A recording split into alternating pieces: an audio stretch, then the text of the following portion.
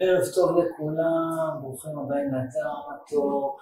אני רוצה להתחיל ולהכיר את שרה שנתנה את השיחת פתיחה. דבר מאוד משמעותי שלקחתי מהשיחה שלך, זה שבגיל שלך כל שנה זה קצר ומהיר, זאת אומרת צריך לנצל את זה היטב. וזה מחבר לחלק נהדר בלימוד שלנו, זה מסר נהג לומר, זה מסר סונסן שצפיתם ביומיים האחרונים, נהג לומר in the work, in the great work of life and death, time will not wait for you. hurry up, hurry. אז בעבודה הנעלה של החיים והמוות, הזמן לא מחכה לנו. תמהר, תמהר. אני חושב שצריך לשים את זה מעל השעון. time will not wait for you.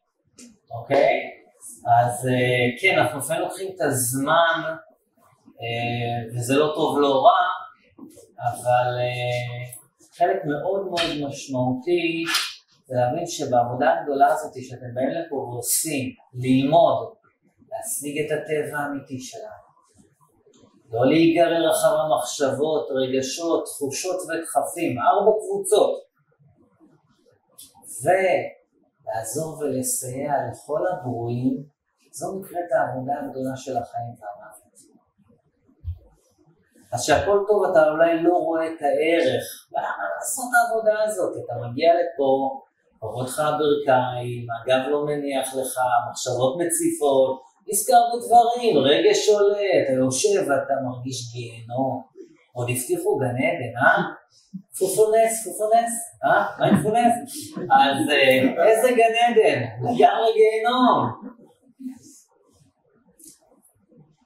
אתם רוצים לפגוש גן עדן, תצטרכו לעבור דרך גיהנום.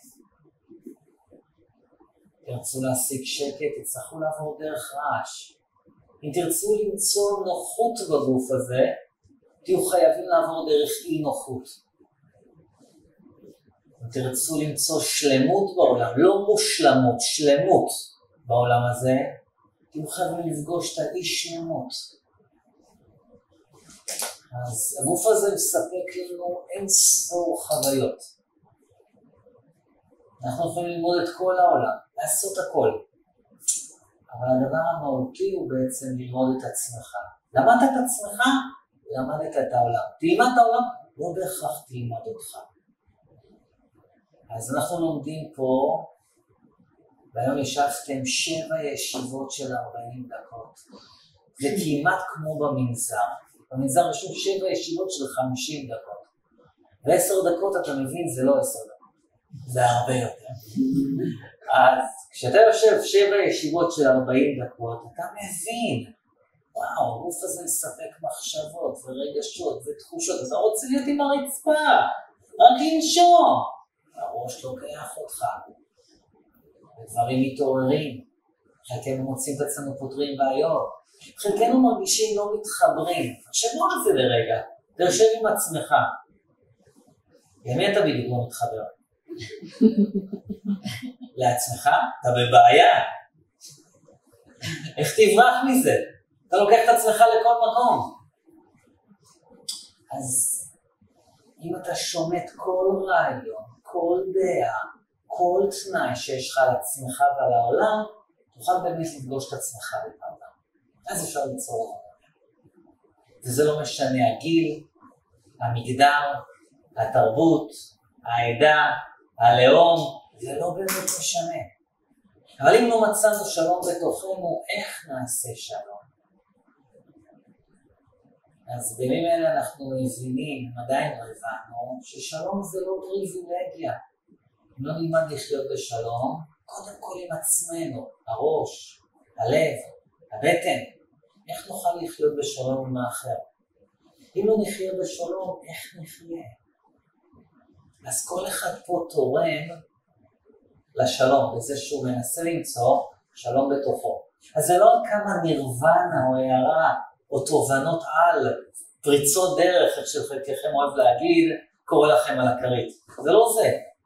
זה זה שאתם מוכנים לשבת ולצפות בסרט. שאתם יוצרים שוב ושוב, עד שאתם קולטים, בואנה זה רק סרט, זה לא אני. אבל כל עוד לא ראית שזה רק סרט, אתה מאמין שזה אתה. ובגלל שאתה מאמין שזה אתה, אתה גם פועל מזה. שזו השעיה הגדולה שלנו.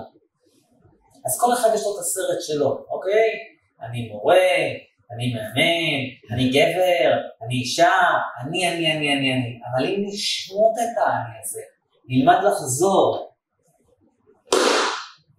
לפני החשיבה, נוכל לשמוט את האני שאנחנו מחזיקים.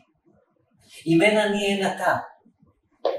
הכוונה היא, אם אני לא שם על עצמי כלום, אני גם לא שם עליך כלום. אז אני יכול לפגוש את עצמי, אני יכול לפגוש אותך באמת. אז אתם עושים עבודה גדולה, היא לא פשוטה, כמו שאתם רואים. ואני אומר, שרדתם את היום השני? כל הכבוד. נשאר למעשה רק היום השלישי, שהוא גם הוא בחצי יום. אז כבר הרוב מאחורינו. זה יסתיים, תוכלו להגיד, וואלה, עשיתי את זה. נתתי מילה לעצמי ועמדתי במילה. ככה אדם לומד להאמין בעצמו. אז זה יפה לראות אדם כמו שרה ששיתפה אותנו פה, בחלקים מסוימים, שהיא לא נגררה לסרט של החיים שלה, הצעירות של השכונה. הן אומרות ככה, הן אומרות ככה, היא לא חייבת לשתף פעולה עם הסיפור. זה חופש, אוקיי? ואז אתה יכול אפילו לחזור לתוך הסיפור, אבל אתה בא מודע ויוזם סיפור אחר לגמרי. הסיפורים תמיד יהיו. אל תצפו לשבת ואין סיפור. מה חשוב בסיפור? זה למצוא את המספר. מצאת אותו, תוכל לספר אותו. אז כמה אנחנו חוזרים מרגע לרגע, לרגע לפני החשיבה, יכולים ליצור את החיים שלנו.